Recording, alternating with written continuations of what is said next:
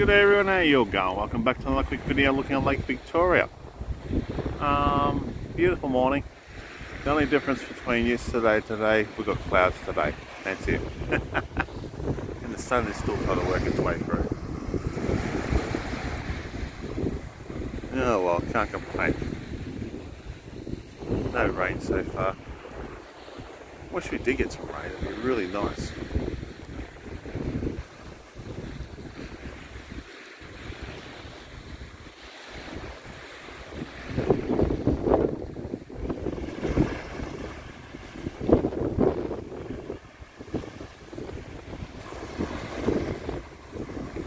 Oh well, it's a beautiful morning. You all take it easy, everyone? And you all have a great day. It is actually a beautiful day.